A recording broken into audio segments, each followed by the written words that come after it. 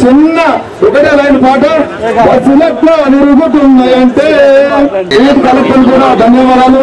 Collector గారికి అదేవిధంగా నగర మరి మున్సిపల్ కమిషనర్ గారు కూడా ధన్యవాదాలు తెలియజేయడం మా సార్ చెప్తారండి ఇంకా దాన్ని ఒకసారి కట్టే చెప్పండి ఉంటానన్నా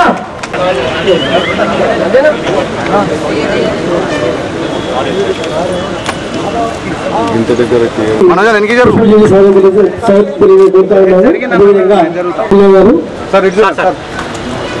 శ్రీ గణేష్ సార్కి స్వాగతం తెలియజే కోరుతా ఉన్నారు.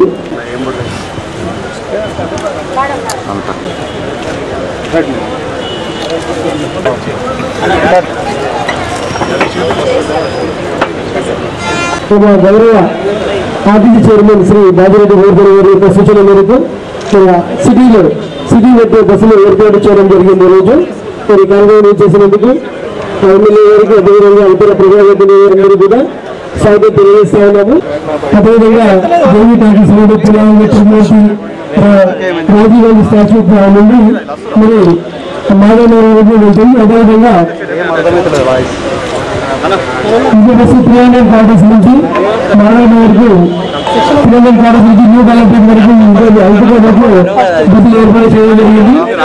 ఈరోజు మరి ఎంత వేదిక ఆరంభించిన ప్రజలందరికీ ఇక్కడికి విచ్చేసిన ప్రేక్షకులకి పత్రిక పత్రికా విలేకరులకి ఎలక్ట్రానిక్ మీడియాకి అందరికీ వెల్కమ్ అండి. ఎప్పటి నుంచో అనుకుంటున్న సిటీ సర్వీసెస్ ఉన్నాయి. యాక్చువల్లీ జనవరి నుంచి దీని మీద వర్కౌట్ చేయడం జరిగింది. ఇప్పటికీ అది సక్సెస్ఫుల్గా రెండు రూట్స్లో కానీ ఈ రోజు మాకు స్టార్ట్ చేయడం జరుగుతుంది. ఈ రెండు రూట్స్ ఒకవేళ సక్సెస్ఫుల్ అయితే ఈ సిటీ సర్వీసెస్ సక్సెస్ చేయగలిగితే దీన్ని ఇంకా కొత్త వేరే రూట్స్లో మేము ఇంప్లిమెంట్ చేసే ప్రయత్నం చేస్తాము. ఆర్టీసీ ఇంతకుముందు ఉన్నట్టు పాత పద్ధతిలో కాకుండా చైర్మన్ గారి ఆధ్వర్యంలో మంత్రి గారి ఆధ్వర్యంలో కొత్త కొత్త విధానాలను పరిశోధిస్తూ ఇంకా ఏమైనా ఆదాయం పెంచుకోవచ్చా అన్న ది- దిక్కుగా వెళ్తూ ఉన్నాము. అందులో దీంట్లో భాగంగానే ఇప్పుడు కార్గో సర్వీసెస్ కానీ డోర్ డెలివరీ ఆఫ్ మ్యాంగోస్ కానీ మన జగి జగిత్యాల మ్యాంగోస్ కూడా డోర్ డెలివరీ చేయడం పికప్ చేయడం జరిగింది. ఐదు వందల ఎనభై రెండు రూపాయలు సో మనం టీసీసీలో నెట్లో బుక్ చేసుకుంటే ఇంటికి ఐదు కిలోల మ్యాంగో జగిత్యాల నుంచి డైరెక్ట్గా మీకు డోర్ డెలివరీ అవుతాయి. సో ఈ సిస్టమ్స్ అన్ని కూడా ఇంప్లిమెంట్ చేయడం జరుగుతుంది. ఇంకా మనం ఏమేమి డైరెక్ట్ ఇచ్చాము ఏంటి అన్నది మన చైర్మన్ గారు మీకు తమ మాటల్లో చెప్తారు. I welcome chairman sir to address the public మంచి దినం. నిజామాబాద్ జిల్లాలోనే దగ్గర మన పెద్దలు రాష్ట్ర Telangana RTC chairman rural councils MLA ముఖ్య అతిథులు బాజిరెడ్డి గోవర్ధన్ గారి చేతుల మీదుగా మరి కొత్తగా ఇక్కడ సిటీ బస్సెస్ మరి స్టార్ట్ చేయడం జరిగింది. అట్లాగే అర్బన్ ఎమ్మెల్యే దిగాల గణేష్ గు- గుప్తా గారి ఆధ్వర్యంలో మేయర్ నీటి కిరణ్ గారు ఐడీసీఎల్ చైర్మన్ సాంబార్ మోహన్ గారు commissioner local bodies Vikram Mishra గారు. ముందున్న నాతోటి సోదరులు సోదరులు ప్రెస్ అండ్ మీడియా సోదరులందరికీ ఆర్ఎం గారు ముఖ్యంగా ఉషాదేవి గారు. అందరికీ సందర్భంగా శుభాకాంక్షలు శుభాభినందనాలు తెలియజేస్తాను. ఈరోజు నిజామాబాద్ జిల్లాలోనే ఒక కొత్త చరిత్ర. ఉంటే ఏ మూలకున్నా వడ్డన చెప్పి మరి ఆర్టీసీ స్టేట్ చైర్మనే మనోడు మన rural councils MLA Bajireddy Govardhan గారు అయినప్పుడు మనం ఖచ్చితంగా మరి నిజామాబాద్ జిల్లాలో ఆర్టీసీలో అన్నిట్లో నంబర్ వన్ ఉండాలని చెప్పి కోరుతూ నేను చూస్తా ఉన్నాను. ముందనే మన మా జడ్పీ స్టాండింగ్ కమిటీ మీటింగ్స్లో కూడా రివ్యూ చేయడం జరిగింది ఆర్టీసీ గురించి. మరి గతంలో టూ ఇయర్స్ కరోనా వచ్చి మనకు ఇది ఆర్టీసీలో కూడా నష్టం రావడం జరిగింది. మరి మన రాష్ట్ర చైర్మన్ గోల్డెన్ లెగ్ మరి ఆయన రాగానే అన్ని ఆదాయాలే. మరి కొత్త కొత్త స్కీమ్స్ కూడా ఎక్కువ స్కీమ్స్ కూడా ప్రవేశపెట్టడం జరుగుతుంది. కాబట్టి ఈ సందర్భంగా ఎక్కువ మాట్లాడకుండా మరొక్కసారి వేదిక మీద ఉన్న పెద్దలకి మీ అందరికీ ప్రెస్ మీడియా సోదరులకి ఈ సందర్భంగా శుభాకాంక్షలు ధన్యవాదాలు తెలియజేస్తుంది ముగిస్తున్నాను.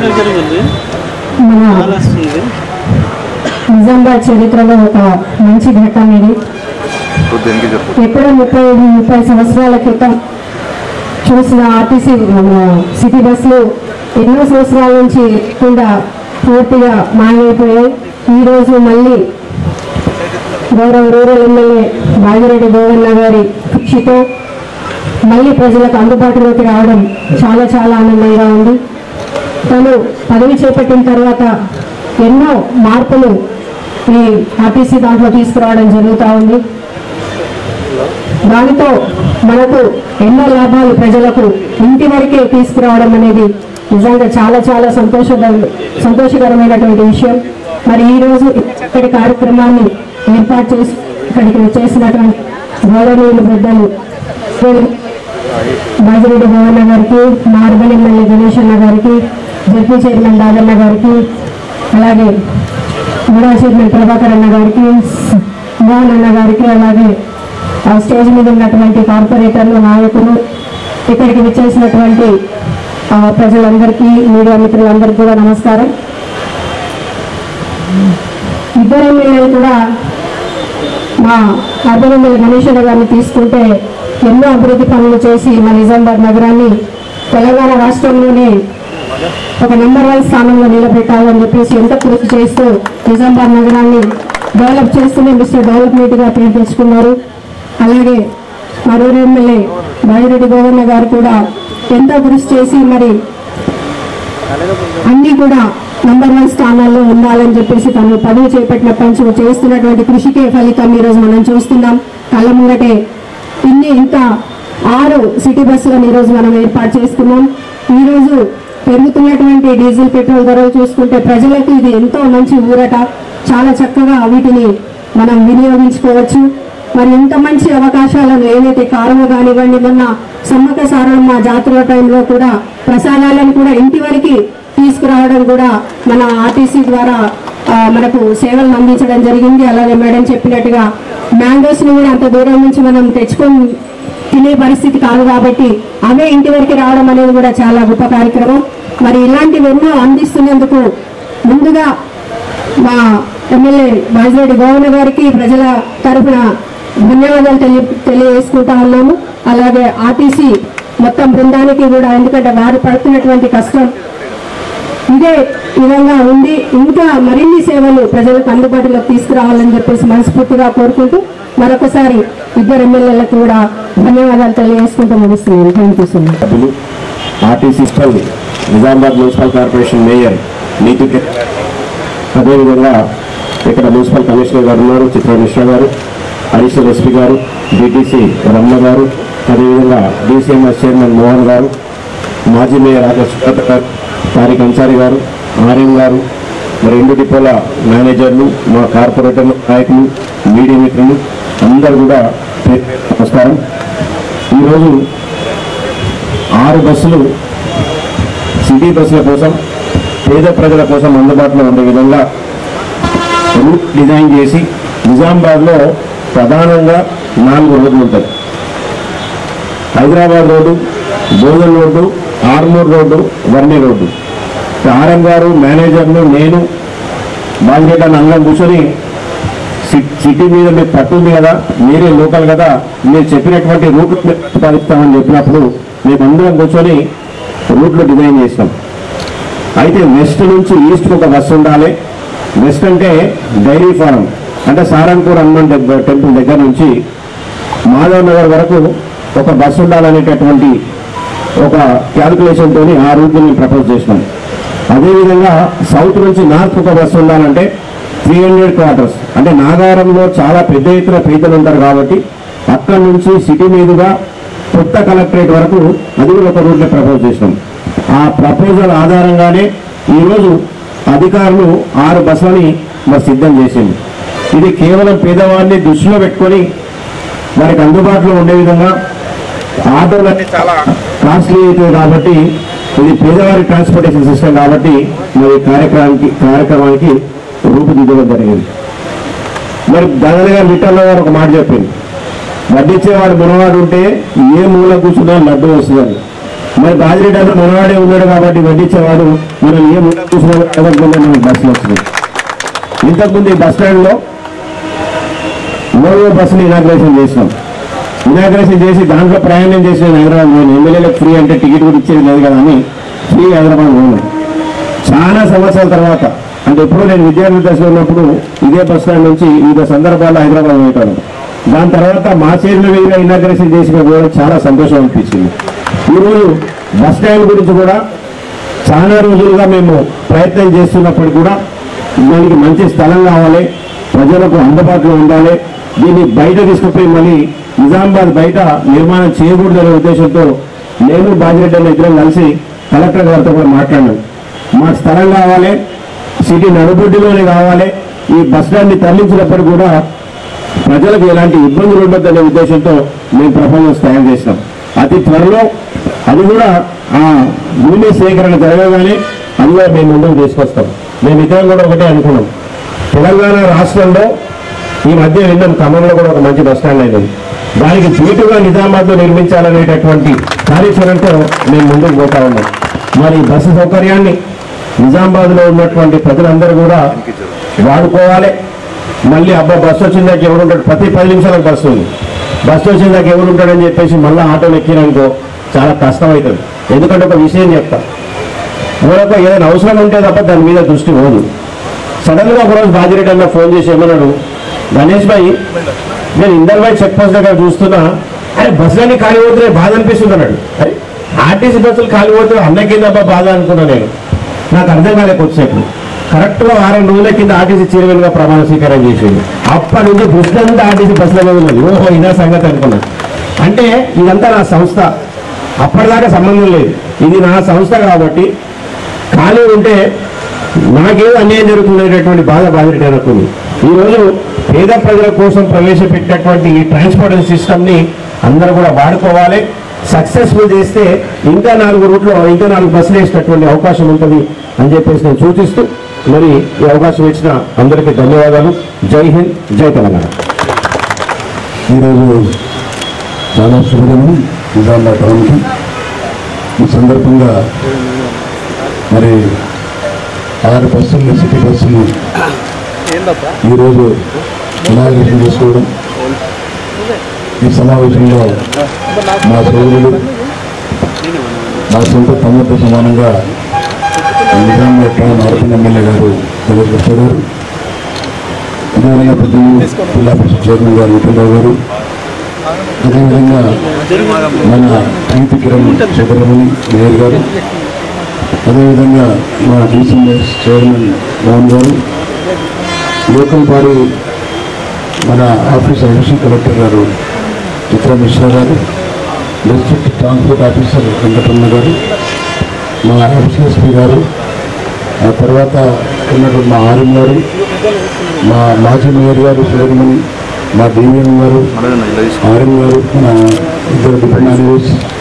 తర్వాత కార్పొరేటర్ తర్వాత మా పేరు తారిక్ అన్సారీ గారు ఉన్నటువంటి కార్పొరేటర్స్ మాజీ కార్పొరేటర్స్ మా ఎంపీపీలు వచ్చి చాలా మంది ఎంపీపీలు వచ్చారు మా పార్టీ ప్రెసిడెంట్ వచ్చిండు సొసైటీ చైర్మన్ వచ్చింది ఇక్కడ అధికారులు ఆర్టీసీ డ్రైవర్స్ కండక్టర్స్ స్టాఫ్ మా ప్రెస్ సోదరులు అందరికి నాకు ధన్యవాదాలు నమస్కారం తెలియజేస్తున్నా శుభాకాంక్షలు తెలియజేస్తున్నాను. చాలా సంతోషం ఏంటంటే మన జిల్లా నుంచి రోడ్స్ ట్రాన్స్పోర్ట్ అన్నీ కూడా మా జిల్లాకు వచ్చినాయి. ఆర్ఎంఈ మినిస్టర్ గారు మా జిల్లా వారు ప్రశాంత్ రెడ్డి గారు. బస్సులు కూడా మా జిల్లాకు అప్పగించారు ముఖ్యమంత్రి గారు. కాబట్టి మనం రోడ్లు వేసుకోవచ్చు బస్సు నడిపించుకోవచ్చు. ఇబ్బంది లేదు మనకు.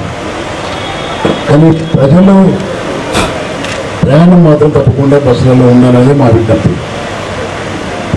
మేము మరీ ఏంటంటే ఈ సిటీ బస్సు ఏదైతుందో నేను ఒక ముప్పై సంవత్సరాల క్రితం చూసిన కేఎల్ఎంఎస్ వల్ల సిటీ బస్సెస్. ముప్పై సంవత్సరాల తర్వాత మళ్ళీ ఇప్పుడు చూస్తున్నాం మనం.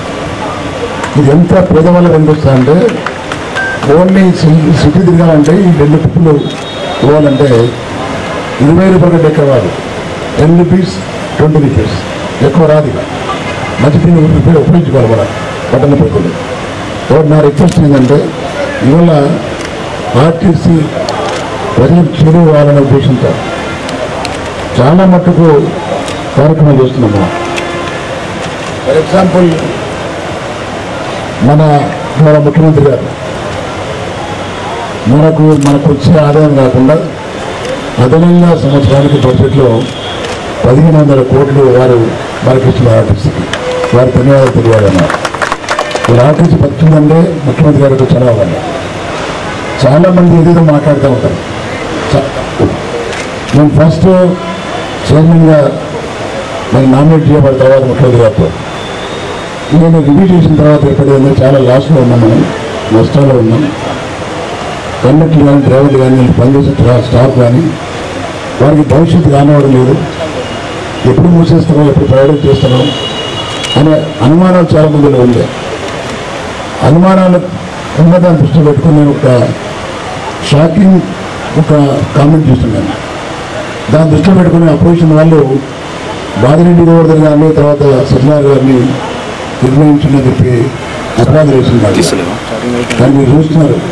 సత్యనారాయణ గారు కానీ నేను కానీ ఒక కంబైన్డ్గా ఇద్దరం కలిసికట్టుగా వారి అడ్వైజర్ నాకు చెప్పడం నా అడ్వైజర్ వారికి చెప్పడం ఎక్కడ కూడా మా ఇద్దరికి ప్రపంచం లేకుండా ఈ ఆర్టీసీ ముందు తీసుకుపోవాలనే ఉద్దేశం వేరే లేదు మాకు. పలు రకాల కొత్త కొత్త ఆలోచనలతో ప్రజలు దగ్గర అనే ఉద్దేశంతో చాలా కార్యక్రమాలు చేస్తాం ఇప్పుడు మా సోదరి నితీష్ కిరణ్ గారు చెప్పినట్టు సమ్మక్క సారక జాతరకు నేను అనుకున్న ఒక ముప్పై కోట్లు వస్తాయనుకున్న మా ఆదాయం చాలా పెద్ద ఎత్తున ఏర్పాటు చేసినాను కానీ మాకు వచ్చింది పదిహేను కోట్లు పదిహేడు కోట్లు మాత్రం వచ్చినాయి మా అంచనా అవుతుందో తిలకంలేదు అదేవిధంగా నేను ఫస్ట్ చర్మగా అయిన తర్వాత కేవలం ఏడు కోట్లు ఎనిమిది కోట్లు తొమ్మిది కోట్లు మాత్రమే రాబడి వస్తున్నారు రెవెన్యూ ప్రతిరోజు.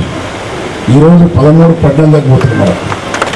అంటే ప్రజలు ఆదరిస్తున్నారు ఆర్టిస్టులు ఆదరించడం కాదు నేను ఒకటే మనం మా వాళ్ళు కూడా. మహాత్మా గాంధీ చెప్పినట్టు ఎవరైతే కొనుగోలుదారుడు కొనుగోలుదారు వ్యాపారస్తులకి ఒక దేవుడు లాగా. ప్రయాణికుడు దేవుడు కాబట్టి దాన్ని దృష్టిలో పెట్టుకొని ప్రయాణికులను మర్యాదిస్తూ వారికి తీర్చుకుంటే తప్పకుండా మన ఆర్టీసీ ఇంకా ముందుకెళ్తుందనే నమ్మకం నాకుంది. ఇంకా కొన్ని విషయాలు మరి ఒక నాలుగైదు ప్రశ్నలకు కొంత అమౌంట్ కూడా శాంక్షన్ జరిగింది. మనకి ఇక్కడ కూడా అరవై లక్షలు ఇవ్వాలని అడిగింది మన ఆర్యం గారు గతంలో వెళ్ళిన ఆర్యం గారు. ఎవరు ఇప్పించే పరిస్థితి డ్రైనేజ్ అధ్వానం ఉంది కాబట్టి ఏమన్నారు అన్నిటికంటే ముందు నేను నా గణిత మా సోదరుడు. బాగా ఆలోచించి కూర్చొని మాట్లాడుకున్నాను ఈ బస్ స్టాండ్ చాలా ఇబ్బందిగా ఉంది. ఓన్లీ త్రీ ఎకర్స్ మూడకాలు మాత్రం ఉంది. బస్సులు చాలా ఉన్నాయి. ఇతర జిల్లాల నుంచి వస్తే బస్సులు తన ప్రాంతానికి వెళ్తే ఇక్కడ నుంచి. చాలా కంజెస్ట్గా ఉంది. మరి ఎక్కడైతే బాగుండేది ఆలోచనతో కూర్చొని అధికారులు మేము కూర్చొని ఒక నిర్ణయానికి వచ్చినందుకు అది ముఖ్యమంత్రి యొక్క మరి ఆశీర్వాదంగా ఉందండి ఇది త్రీ ఎకర్స్ ఉంటే అది ఫైవ్ అండ్ హాఫ్ ఏకర్స్ ఉండేది. మా రైల్వే స్టేషన్ పక్కన RMD building irrigation building municipality guest house అవన్నీ కలుపుకొని సర్వే చేస్తే ఐదున్నర ఎకరాలు వచ్చింది కాబట్టి ఇది దీన్ని ఇట్లా ఉంచి అది తీసుకొని దాంట్లో గౌరవ ముఖ్యమంత్రి గారి యొక్క రిక్వెస్ట్ వారికి రిక్వెస్ట్ చేసి బస్ స్టాండ్ నిర్మాణం కోసం ఆలోచన నాకు ఉంది. నేను ఇద్దరం తప్పకుండా గౌరవ ముఖ్యమంత్రి గారికి వెళ్ళి రిక్వెస్ట్ చేస్తాం మాట కాదని నమ్మకం నాకు ఉంది కాబట్టి ఇప్పుడు ఏదేమైనా ప్రజలకు చేస్తున్నా ఆర్టీసీలో ప్రయాణం చూపిస్తాను. మీరు ఆటోలో ఆటో ప్రారంభం అడుగుతున్న వాళ్ళని కాదలేదు వాళ్ళు కూడా ఐదు ఆరుగురు ప్రయాణం చేస్తున్నారు. ఒక ఆటో తీస్తే ఇరవై మంది ముప్పై మంది. ఆర్టీసీ బస్సులు పట్టే మంది అందరూ ఆటోలు పడుతున్నారు. ఇది కరెక్ట్ పద్ధతి కాదు. దానిలో సురక్షితంగా ప్రయాణం కాబట్టి ప్రయాణం చేయండి.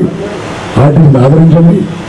ఇటువంటి మరిన్ని కొత్త కొత్త సేవలు మీకు అందించి ఏర్పడిస్తున్న కూడా తెలియజేస్తూ మరొకసారి నిజామాబాద్ ప్రాంత ప్రజలకు మా సోదరుడు గణేష్ గారికి మున్సిపల్ మేయర్ గారికి కొన్ని అధికారులకు జిల్లా పరిషత్ చైర్మన్ గారికి ప్రతి ఒక్కరికి పేరు పేరున మరొకసారి శుభాకాంక్షలు తెలియజేస్తూ ముగిస్తున్న.